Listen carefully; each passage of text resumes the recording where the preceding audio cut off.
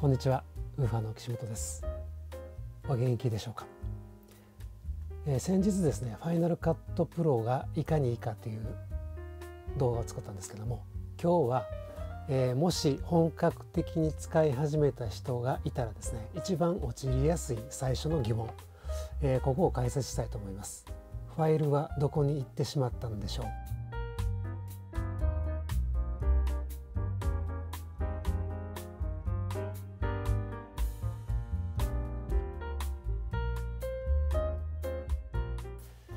いうのが、まあ、何人かの人にこうファイナルカットをこういうふうにした使ったらいいよっていうことをあの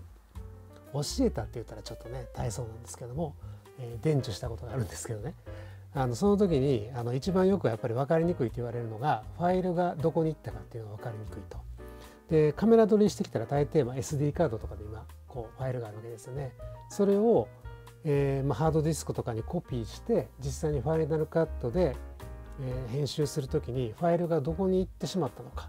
えどこに格納されているのかが分かりづらいということを言われることがあるんですよ。それなんでそういうことになるかというと,、えー、っと SD カードで取り込む時にですねファイナルカットを使って取り込むとですね、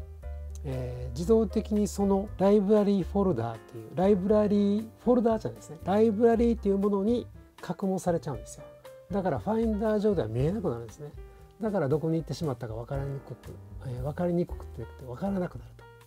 まあこれあの後でご紹介しますけど見ることもできるわけですよ。ただあの私の場合、えー、過去に撮ったものもどこにあるかっていうのをすぐファインダー上でも見つけたいと。だからあのファイナルカットプロを使って、えー、この取ってきた生データをコピーするっていうことはしてないです。ですから今日はその順番をちょっとご紹介しますね。でまずこれ取ってきたものがあって、まあ、SD カードも入れますよね。そうすると取ってきた SD カードのこういう形で入ってます。ハードディスクとか SSD をお使いだと思うんですけども、まあ、それを今 Mac につないだ状態で説明しています。で、えー、と今日はあのこの Final Cut Pro Test というフォルダを作ってみました。今何も入ってない状態ですね。それで取ってきたファイルっていうのはえー、とこういう風になっててこれはあのこの間のちょっと紹介してた X2000 っていうカメラのファイルなんですけどこういう風に、えー、とちょっとわけのわからないホルダーがいっぱいくっついてくるんですけどとりあえず、まあ、これ全部コピーしておきましょう。全部コピーしてこっちに持ってきます。でこの時あのこの外付けのハードディスクの中に、えー、作るフォルダーの名前としては、まあ、日付とかその内容の、まあ、メインのタイトルとかそういうものをつければ分かりやすいと思います。それで今もうすでにコピーが終わりました。えっ、とこれですね。でえっ、とこの中のどこにあるかというとこのプライベートの中じゃなかったコンテンツかなコンテンツの中のクリップの中にこうあります。はい、結局まあこれこれを使うだけなんですけどね。今分かりやすいようにちょっとこれあの他のフォルダーも、まあ、今日は使わないのでえー、っとこれちょっとゴミ箱に入れときます。はい、それで、えー、っとこれ今ムービーファイルを開くとクイックタイムでも開けるファイルですのでこういう形で、えー、鴨川の鴨を取ったやつですね、えー、これが1個入ってますと。449メガバイト。これは1個入ってます。それで今日はこのフォルダファイナルタットプロテストっていう中にえーと、このファイナルカットのライブラリーも全て含めてここに保存していきたいと思います。なぜそういうことをするかというとですね後々まあこれがいっぱいになってきた時にどっか他に移したいとかバックアップを取っておきたいっていう時に1箇所に固まってればそれだけバックアップ取ればいいわけですよね。なので、えーと、なるべくですねそのプロジェクトごとというか、えー、これ言葉がややこしいんですけどもファイナルカットではえーとまあ、ライブラリーっていうんですね全体を。ライブラリーをどこに保管してるかということがあのとても重要になってきます。で、えー、とまずファイナルカットを開きます。今10.4.8を使ってます。で過去のライブラリを開きますかとか言ってきますけど何も、えー、とプロジェクトが選択されてない状態では、えー、とこのですねえー、以前開いてたものがここでは開くんですけど今何も開いてなかったので名称未設定が開いてます。これ一旦、えー、っとこれ閉じますね。はい、だからなんかまっさらの状態はこういう状態です。あの一番左側のライブラリのところも何もないということで、えーと、今日は1から作っていきますので、えー、先ほどの名称未設定の名前を変更して作っていってもいいんですけども、えーと、今日は1から作っていきます。で新規からまずライブラリーというのを作ります。これがあの大元になります。なので今日はあのファイナルカットプロ、えー、テストという、えー、このファイナルカットのですね大元になるライブラリーというファイルを作ります。これ昔はですねこれプロジェクトファイルと呼んでてアドベのプレミアなんかでもプロジェクトファイルなんですよねだからちょっとややこしいんですけどもプロジェクトっていう言葉は後で出てきますこのファイナルカットプロの点以降はですねそのタイムラインのことをプロジェクトというんですねで一番その,、えー、そのプロジェクトがいろいろ溜まっていく格納するものを、えー、イベントというんですねでイベントがいっぱい集まったものがライブラリとこれ3階層になってるんですね。だからちょっとややこしいですけどこの3つがどういう意味合いかということをまず覚えていただくのが一番必要なことだと思います。はい、それで、えー、っと今ですねこのファイナルカットプロテストとしたら自動的にですねここにもイベントができてるんですね。これ今日の日付なんですが4月19日。えー、っと新たなイベントを作ろうとするとここからイベントっていうのを選んでいただいて、えー、ファイルから新規イベントというのを選んでいただいてやると今あの1個もすでに今日の日付のやつができてるので最後に1という文字がついて、えー、と新たなイベントを作りますかっていうふうに聞いてきますけど今とりあえずこの自動的にできたこのイベントを使います。でここでメディアの取り込みっていうのがあるんですけどもこれをクリックします。クリックするとこういうファイルが開いてきて今どこから取り込むかっていうとですねここに刺さってる SD カードを言ってきてるわけです。それで、えー、とカメラで撮ってきてファイナルカットを開いてから SD カードを入れたらこれはもう勝手に開くんですね。この取り込みのメディアの取り込みのウィンドウは勝手に開くんですけどここで注意しなければならないのはここで取り込む時にですねいきなり SD カードから全てを取り込むっていうのにすると先ほどのライブラリーの中に取り込まれてるんですよ。だからファインダー上では見えなくなるんです。ここを注意してください。なので SD カードから直接は取り込まない。さっきやったように SD カードからはファインダー上でコピーをしてフォルダーに格納しておくというふうにした方がいいと思います。えー、まあ、これ好き嫌いあるのかもしれませんけどもやっぱりファインダー上に今日撮ってきた映像が何本あってとかいうのが見えた方がいいですよね。それと後で、えー、っとあの時撮ったあの絵が欲しいという時にはやっぱりファインダー上で見えた方が便利だと思うんです。なので私はそういうふうにしてます。なのでこれあくまで私のやり方なので、えーと、もっとこうやった方がいいよというのがあったらまた教えてください。SD カードからではなく先ほどコピーしたものコピーしたものを、えーと、このファイナルカットテストの中にこれもうすでにコピーしてあるものを、え、ここで、え、読み込むっていうふうにしたらでその時に注意しなければならないのはこのウィンドウのところでありますけどもファイルをそのままにするというところにチェックを入れてください。でこれライブラリーコピーっていうのにするとその大元のライブラリにやっぱりコピーされてしまうんですよね。だから今はファイルをそのままにする。ファイルをそのままにするということはファイナルカットが常にこの SSD にコピーしたファイルを見に行くという状態なんです。だからリンクされるということなんですね。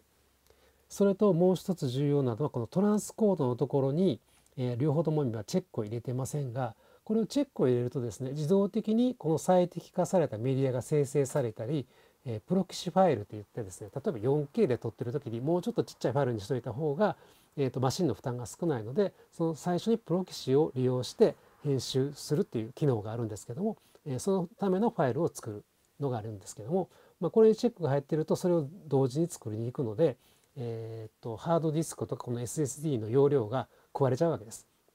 なので、えーとまずはあのここにチェック入れないで取り込むのがいいと思います。それで、えー、と今このライブラリーコピーというところにチェックが入ってないそれからトランスコードのところに両方ともチェックが入ってない状態で、え、まず呼び込んでみます。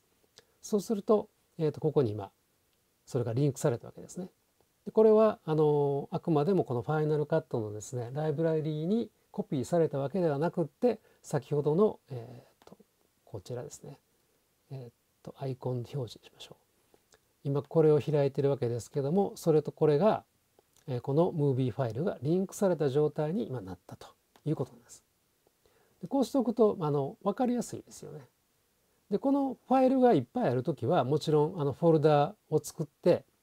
えー、とこれで、えーとまあ、テストファイルとかにしておきましょうか日付でもいいですけども、えー、テストファイルこれ最初にやっといた方がいいんですけどもちょっと今順番逆になりましたけど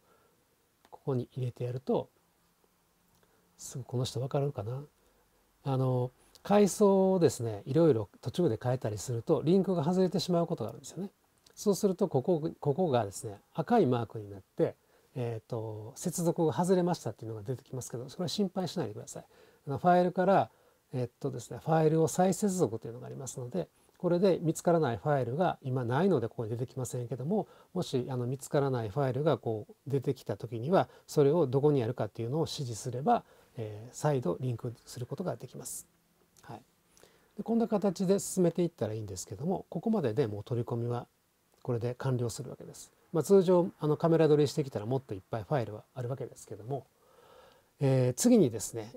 もう一個重要なことがあってこの、えーと、メインになるライブラリーの、えーと、ファイルですねこれをクリックしますと右側のところですねプロパティのところにストレージの場所っていうのが出てきます。ここを常に確認しておく必要があるんですけどもストレージを今どこに保存するかそうするとデフォルトではあのライブラリー内というふうになってるんですけどこれを今自分で作った、ファイナルカットプロテストですねここに保存するというようにしてください。あとモーションコンテンツキャッシュ、えー、バックアップについては、え、これまたあの細かく設定はできるんですけどもあの通常のデフォルトのままでとりあえずはいいと思います。で逆にですねその、えーと、バックアップとかはですね、えーと、もしこの、えーとライブラリーファイルとか、えー、この中で不具合が起こった時にバックアップのファイルは別途時間の経過とともにいくつかできていくわけですよね。それを開きに行くとまた元に戻れるという機能ですから、えー、と同じハードディスクとか SSD に入れておかない方がいいわけですね。なので、えー、とメディアとかを外付けに入れてるんであれば、えー、と内蔵の方にバックアップがあった方が僕はいいと思います。なのでこれはデフォルトで今しておきましょう。はい、でこういう形になったらこれで一応ですね取り込みが完了ということで、えー、とこれでファイルが今どこにあるかっていうのは分かりやすいですよね。えー、これがメインのライブラリーがあってそれに、えー、とカメラ撮りしてきたものがここにあるとこれですねこうですねこの中に、えー、ビデオがあると。はい、でここからまあ編集を始めていく。一番だからあの陥りやすいこととしてはですね今ちょっとえっ、ともう一度ここをですねこれをゴミ箱に入れて取り込みのところをやっていますけども今それで今ゴミ箱に入れたらここ赤くなりましたよね。でこれファイルがそのもともと指定してたところからなくなっちゃいましたというのがここで出てくるわけです。でこれも今あの、えーと、ゴミ箱に入れるで一回取りますね。削除します。ともう一回取り込むっていうのが出てきますので、えーと、もともとですねこのストレージの場所がライブラリー内にもしなってたとするとですね、えーと、ライブラリーにコピーされちゃうわけですよ。だから、えーと、このライブラリーを作ったと作った時点で、えーと、これをファイナルカットプロテストっていうふうにしとけばですねどうなるかというと SD カードからもし取り込んだとしてもこれ取り込みますね今。ファイナルカットプロテストにコピー。ライブラリーにコピーじゃなくてファイナルカットプロテストにコピーというのにするとはい今コピーできたかなこれで、えーと、このフォルダーの中にファイナルカット、えー、ファイナルカットオリジナルメディアというのがここにできます。こういうふうにですね、はい、ここに入ってきます。でこれだとファインダー上で一応確認ができるのでいいと思います。いいと思いますけども手順として、えーと SD カードから取り込むときにもしもしですよここのストレージの場所がこれがライブラリーになってたとするとライブラリーにコピーされてしまうので後であのファイルどこに行ったかなっていうことになってくる可能性が高い。一番だから確実にやりたい場合はやっぱりあの SD カードから直接ですねこれこういうふうにコピーせずにここにですね自分でうんとファイナルカットプロテストっていうまあ何でもいいんですけど名前はその日の,、まあ、あのタイトルをつけてそこにえ、っと SD カードの全てのフォルダーごとコピーするというのがいいと思います。ただ今ここに、え、っとコンテンツっていうか、え、っとムービーが入ってるのはクリップの中に今1個だけしか入れてないのでこれですねこれをコピーして、えー、と本来は、えー、とカメラ撮りしたフォルダごと全部コピーしてください。後々使うことがもしかしたらあるかもしれません。はい、でここで先ほどのこれはリンクが外れちゃってるので、えっとまあ、同じファイル名なのでここからリンクを再接続というのをやってみましょう。ファイルを再接続。でこれをこれに関して、えー、場所を指定してやるとうんと場所を指定でこれでこのテストの中にあるからこれですね。はい、そうするとこれでファイルを接続すると戻ってきました。こういうことです。これで一応ファイルがどこにあるかというのをあのご理解いただけたと思います。なのでちょっとあの最初ファイナルカットを使い出して一番ここがややこしいところだと思いますので、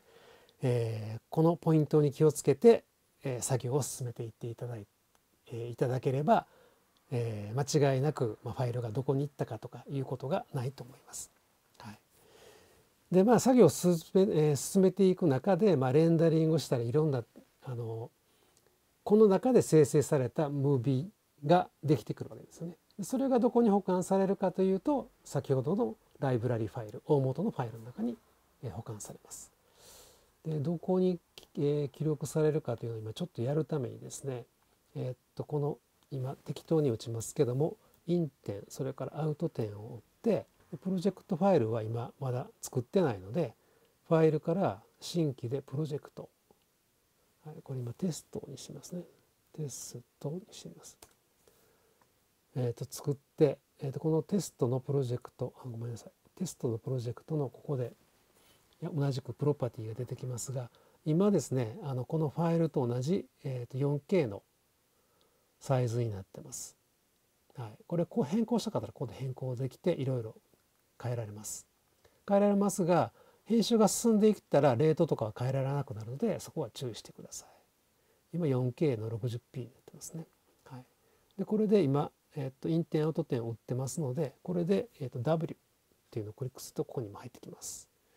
えっと、これファイナルカットの便利な機能でこの W とか E とかいうのはショートカットで最初から入ってるんですけどもこのタイムラインに入れる時に、えっと、W が挿入で E っていうのが一番そのプロジェクトタイムラインの一番後ろにくっつけるというそういう機能です。なので、えっ、と、まイン、アウト、W、イン、アウト、W とか、イン、アウト、E、イン、アウト、E っていうふうにしていくと、いっぱいですね、あの、まあ、カットでつないでいきたい時には非常に便利です。だからほとんどマウス使う必要がないんですよね。えっ、と、こっちで再生しながら、いいとこ、終わり、E、えー、イン、アウト、W、イン、アウト、E、イン、アウト、E とかやっていけば、どんどんどんどん、あの、タイムラインに必要なところが保存されていくと。まあ、それはまた後後ほどというかまた今度やりましょう。えー、とそれでちょっと今タイムラインこれ全全体表示この辺のあのショートカットなんかもいろいろ自分で押さえやすいようにやってください。これちょっとカスタマイズしてるのでそこは今省略しますけれども、